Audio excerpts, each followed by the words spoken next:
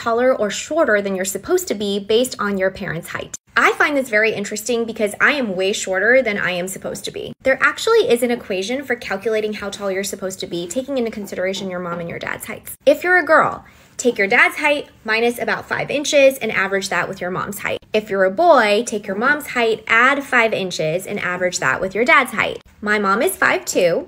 Average that with my dad, who is 5'6, minus five inches is 5'1 average between 5'1 and 5'2, I'm supposed to be 5'1 and a half. So why am I only 5 feet? Like, I think that extra one and a half inches would have made a world of difference for me. My husband is an anomaly who is freakishly tall for his parents' height. His mom is 5 feet, so converted into a guy's height that's like 5'5, average with his dad, who's 5'8, 5'9. He should be around 5'7. But my husband is 6'2. So did this equation work for you? Tell me in the comments.